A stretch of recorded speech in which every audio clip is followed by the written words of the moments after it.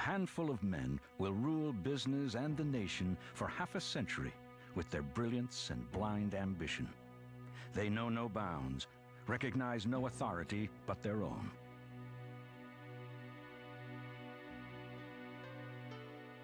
The people were called the robber barons by their critics, and I suppose would be called industrial titans by their admirers, were really the, the agents of the first stage of modern industrial capitalism. Uh, an enormous number of the, of the big corporations that are still a major part of American life were created in the late 19th century, most of them by very talented, very aggressive, often very ruthless individual entrepreneurs.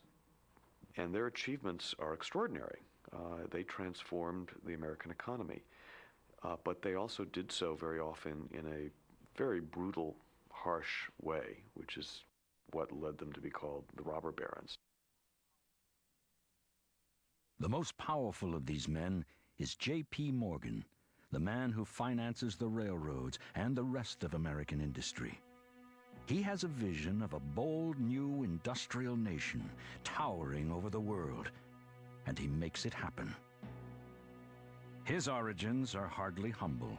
His father is a rich international banker who worries over his son's often impulsive judgments.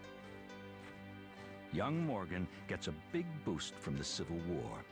He sees the conflict as a business opportunity, not a cause, and profits greatly.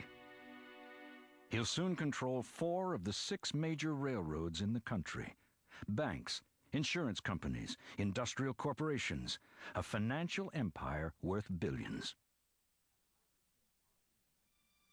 At a lavish dinner party in 1900, a close associate of Andrew Carnegie convinces Morgan to buy out Carnegie's vast steel holdings.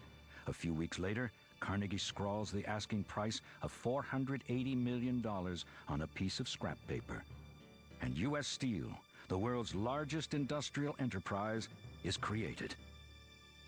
Andrew Carnegie, unlike Morgan, had not been born with the proverbial silver spoon in his mouth. Carnegie is a genuinely self-made man. From his immigrant father, an impoverished Scottish weaver, young Carnegie learns both the value of a dollar and the importance of social justice. Working as a railroad official, Carnegie grasps a simple idea better than anyone else. You can't build railroads without rails. So he invests in iron, eventually controlling the industry. And when iron gives way to steel, he dominates that industry too. There was tremendous resentment of the way the wealthy used their wealth. That was one reason why people like Andrew Carnegie and to some degree John D. Rockefeller were such conspicuous philanthropists because they were concerned that the wealthy class was going to become a target of national anger if they didn't legitimize themselves in some way in, in the eyes of the nation. That worked for Carnegie. He became, after having been one of the most brutal uh, steel barons of the late 19th century, he became, in the last years of his life, a sort of fuzzy, beloved philanthropist.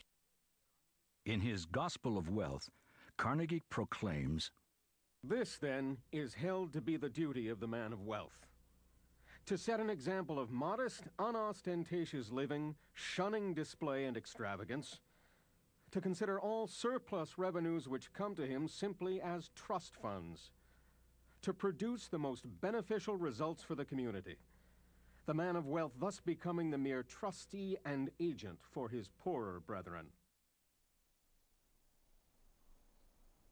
Still, many prominent citizens wonder if the growing gap between rich and poor will do lasting harm to American democracy.